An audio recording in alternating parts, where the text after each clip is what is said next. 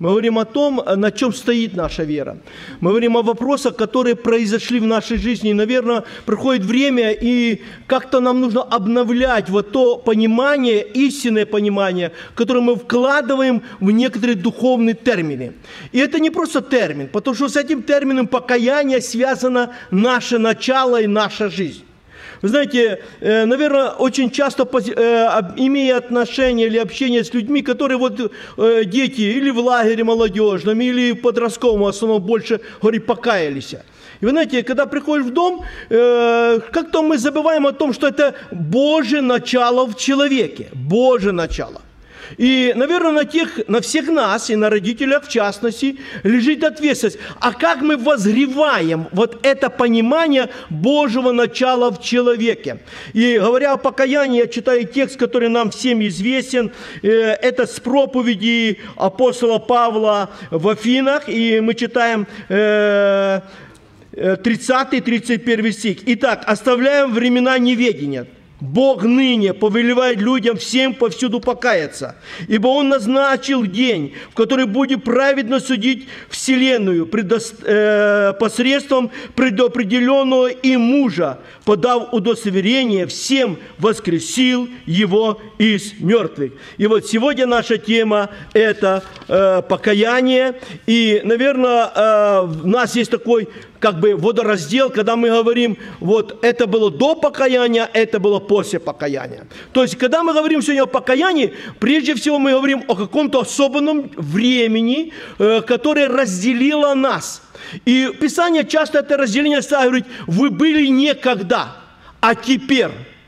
И Писание каждый раз хочет нам показать не том, кто мы были, а в том, кто мы теперь. И апостол Павел говорит так, забывая заднее – вот то, кто мы были. Мы видим теперь, а кто мы есть. Мы простираемся вперед и стремимся к цели, почести, высшего звания Божьего во Христе Иисусе.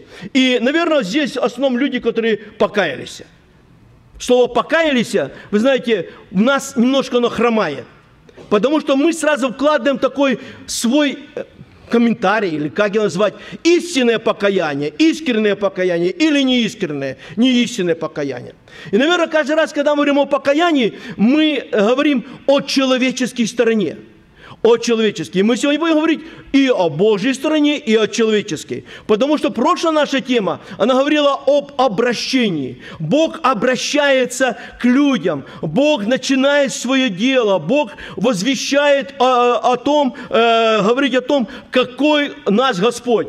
И, наверное, текст, который мы все знаем его наизусть. «Ибо так возлюбил Бог мир» что отдал Сына Своего, дабы всякий уверовавший в Него не погиб, но имел жизнь вечную. И я хочу обратить внимание на 17 стих. «Ибо не послал Бог Сына Своего в мир судить мир, но чтобы мир был спасен через него». И, наверное, когда мы говорим о покаянии или о спасении, оно начинается с покаяния – Покаяние – это когда мы что-то поняли, что-то уразумели, что-то нам открыто. И, наверное, возникает вопрос, а почему Бог хочет, чтобы все люди спаслись, но не все э, сегодня э, спасенные люди? И мы будем э, сегодня рассуждать на этот вопрос. Прежде всего, хочу сказать, когда мы говорим о покаянии, то это тайна. Я, не, я бы не знал, может, можно применить такое слово тайна, но это какое-то сверхъестественное, божественное воздействие на сознание человека. Вот человеку говорим, свидетельствуем о Боге, проходит некоторое время, и человек вдруг Большинство людей, очень редко, когда люди готовятся к покаянию. Есть такие случаи. Но большинство людей, которые пришли к покаянию, это какое-то воздействие Духа Святого на сознание человека. Он знал об этой истине. Ему уже возвестили, ему сказали. И кто сказал, это очень прекрасное время. Он говорит, лучше для вас, чтобы я пошел. Ибо когда я пойду на небо, я пошлю Духа Святого, который облегчит мир – и покаяние, вот это начало Божьего действия обличит мир о грехе, о правде и о суде. И сегодня, когда человек кается, он понимает сегодня, с одной стороны, грех, с другой стороны, понимает правду Божью. И мы сегодня хотелось, чтобы мы сегодня об этом порассуждали. И, наверное, э, вы знаете, когда мы говорим о покаянии, почему это тайна? Потому что когда мы верим не в человеческое, а в Божие, в Божие действие, то мы обязательно подметим то, что когда-то подметили люди. Это первая апостольская церковь. Бог побудил Петра, а заранее он работал с Корнилием, с его домашними, побудил Петра прийти и рассказать им евангельскую весть. И когда он пришел рассказать евангельскую весть, то он их, э, вот их начало началось с покаяния, с признания, что они погибшие и им нужен Спаситель.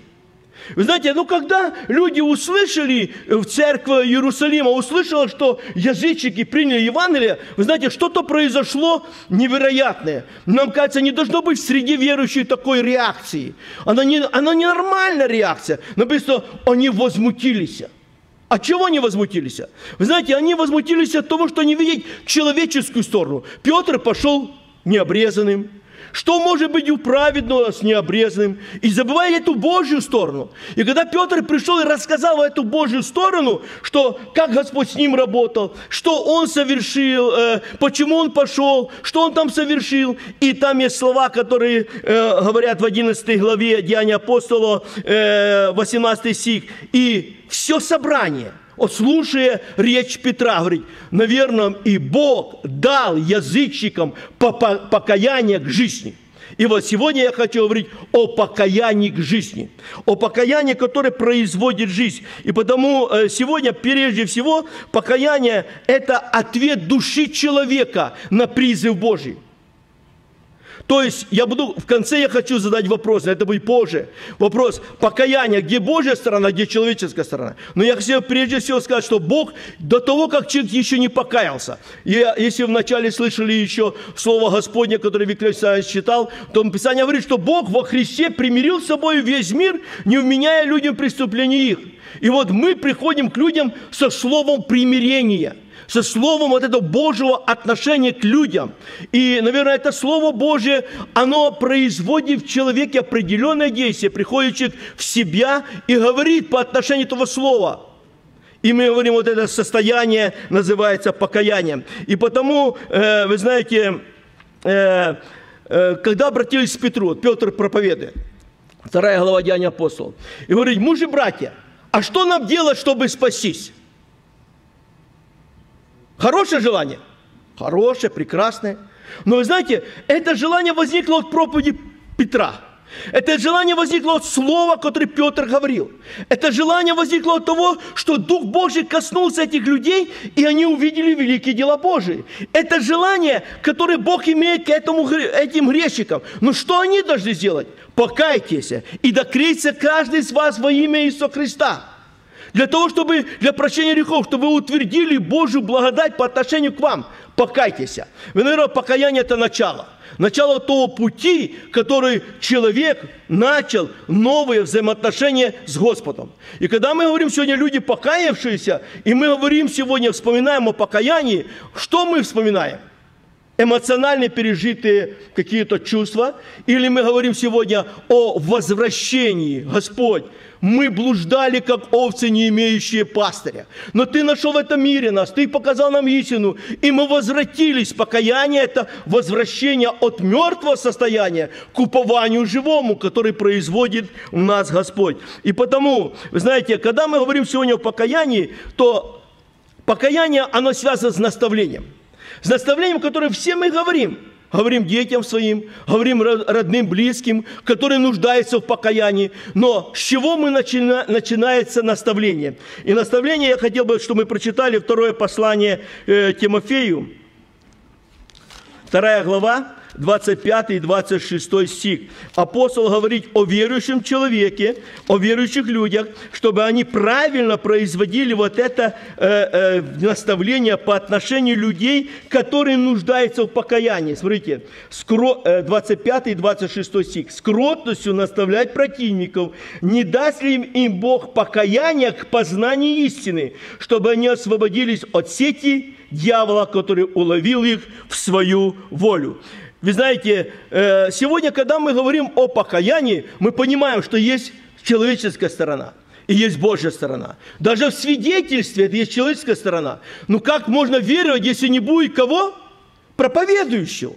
Не будет говорящего сегодня, вот того нету Петра, и как может понять Корнилий? В него есть хорошее богоискание, в него есть хорошее состояние, но в него нету тех слов Божьих, которые производят жизнь. И потому сказано, «Э, пойди, пошли э, в Иопию, позови Петра, который скажет слова, который спасется ты и весь дом твой. Покаяние – это услышали те слова, которые являются для нас спасительными. И, естественно, когда Слово Божие прикасается к человеку, то человек прежде всего осознает сегодня, что он находится в неправильном состоянии. Может, он не говорит, что он в сети дьявола, может, не говорит другими правильными словами, но он понимает, что в нем что-то неправильное.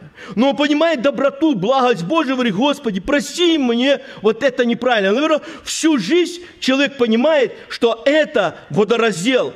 Он раньше был погибший, пришел к Господу за спасением, попросил у него прощения, покаялся, и Бог его принимает. И во всяких, кто призовет имя Господне, и мы это призываем в покаянии.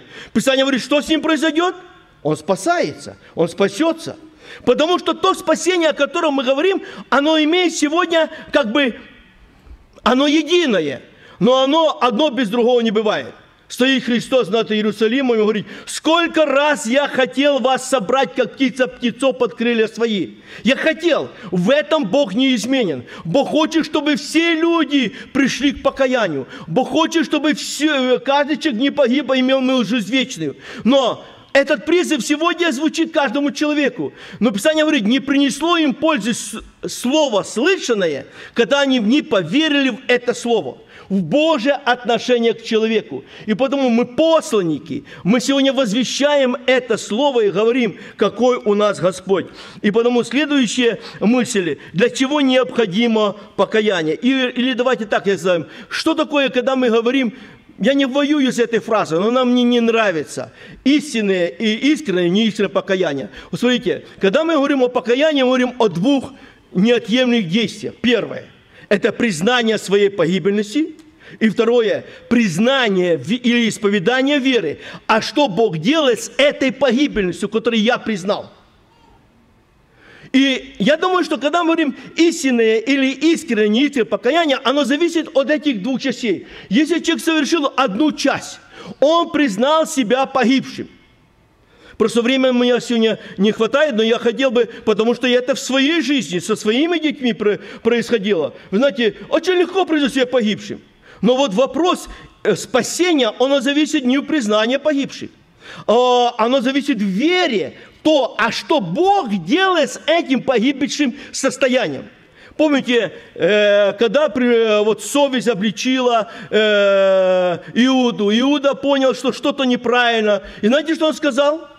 Согрешил я предал кровь невинную, я неправильно поступил. Он признал свое погиб, неправильное состояние. Но спасение, освобождение идет от того, насколько человек исповедует свою веру. А что Бог сделал с этим неправильным, которое мы признаем? И апостол Павел, э, я читаю второе послание Коринфянам, 7 глава, апостол Павел написал послание в Коринф.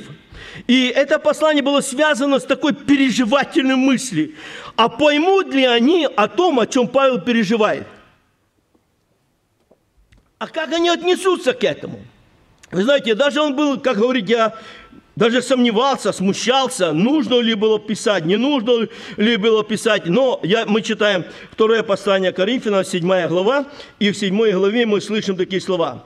Теперь я радуюсь не о том, что вы опечалились, но что вы опечалились к покаянию, ибо опечались ради Бога, так что, э, не, э, так что нисколько не понесли от нас вреда. Ибо печаль ради Бога производит неизменное покаяние к спасению, а печаль мирская производит смерть. И то, э, и то самое, что вы опечалились ради Бога. Смотрите, Какое произвело у вас усердие, какое извинение, какое негодование на виновного, какой страх, какое желание, какую ревность, какое взыскание.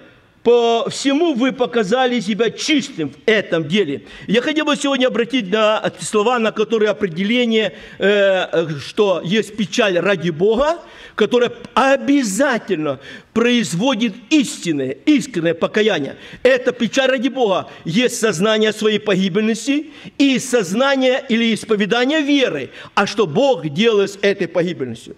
И это то, что печаль ради Бога, она производит покаяние, и она дает жизнь человеку. Она меняет его отношение ко всему прошлому. А есть печаль мирская – и печаль мирская – это сожаление, стыдно э, за свои прошлые э, свою жизнь. Как-то чувствуешь себя неловко, и тебе как-то говорить, да, я не прав, да, я ошибался, да, я э, делал что-то неверное. Но это печаль мирская, она ведет к смерти. Она только мы констатируем, что мы не в правильном состоянии. И эта констатация не несет нам жизни – Жизнь в исповедании моей вашей веры. Потому что покаяние имеет две стороны или две стороны одной монеты. Что одно признание погибельности и второе признание веры и исповедания. А что Бог делает с моей погибельностью? И потому, вы знаете, апостол говорит, я радуюсь. Я радуюсь не от того, что вы сегодня опечались, но я радуюсь от того, что ваша печаль произвела правильное понимание того, что, в каком состоянии вы и как Бог относится к вам. Потому эта печаль, она произвела покаяние, и эта печаль ради Бога дает сегодня человеку жизнь. Следующая мысль, на которую я хочу обратить внимание. Знаете, когда мы говорим о покаянии, мы говорим о Божьем желании. О Божьем желании. Это не мы, а вот мы даже не, хот... не думали, не гадали, как бы говорим, мы говорим, мы не планировали, и вдруг в какое-то время у нас есть желание покаяться. И знаете, почему это происходит? Потому что э, второе послание Петра 3.9 говорит, что Бог, что, э, э, что э, Бог желает, чтобы никто не погиб, но все люди пришли к покаянию. Это Божье желание. Это у Господа есть такое отношение к нам, к людям, что Бог хочет, чтобы люди покаялись. Он понимает, что невозможно э, перейти от смерти в жизнь без покаяния. Признать себя погибшим. И когда я говорю погибший, я говорю, не говорю о грехах. Я говорю о состоянии. О состоянии, в котором, естественно, я делаю грех, потому вы делаете грех, э, делали грех, потому что мы были рабы греха. Но когда мы пришли через покаяние к Иисусу Христу, в этот момент Бог меня освободил. И в этот момент мы стали детьми Божьими. Мы каемся, да, мы каемся – да, мы говорим, но мы говорим о жизни. И каждый раз, когда я и вы пребываете как праведные, как святые, как народ Божий, пребываете в этом истинном покаянии, что Бог примирил вас, что Бог назвал вас своими, что вы теперь народ Божий. И всякий раз, когда вы видите в своей жизни то, что не соответствует вашему статусу, моему статусу, что мы делаем? Мы говорим, отделяемся или каемся. Это одно и то же действие. И потому на что я хочу обратить внимание сегодня, что Бог, э, вот то, что Виктор Александрович читал, Бог примирил с собой мир. И когда мы говорим о покаянии, мы говорим о примирении человека с Богом. Он примирен. Он имеет сегодня мир с Господом. Потому что в покаянии он исповедовал не только погибшее состояние, а исповедовал веру свою. И вот сегодня благодарение Богу, которого через веру в то, что мы сделали нас Иисус Христос, мы имеем мир с Богом. И потому этот мир дает сегодня мне и вам уверенность. Мы раньше были не народом Божьим, а теперь мы после народ Божий. Мы раньше были погибшие, а теперь мы спасенные. Мы раньше были далеки от Бога, а теперь мы свои Богу. Мы раньше были блуждали, а теперь мы творение Божие во Христе Иисусе. Теперь мы новое творение, которое Бог создал нас во Христе Иисусе. Древнее, вот то, что было раньше. Оно прошло или не прошло? Писание говорит, прошло. А теперь мы новое творение во Христе Иисусе. Но всегда возникает вопрос – Одно дело декларировать, другое возникает. Ну я новое творение или не новое? Братья и сестры, если в покаянии только совершили признание своей погибельности и не увидели, что Бог сделал с этой погибельностью, мы никогда не можем быть новым творением.